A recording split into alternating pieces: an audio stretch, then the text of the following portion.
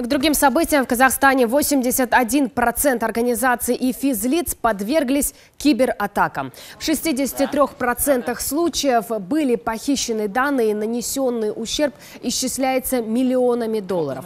Такую информацию озвучили сегодня в Алматы на IT-конференции. Технических мер защиты достаточно. Вот, и в данном случае партнеры представляют э, эти меры. Там различные песочницы, антивирусные средства.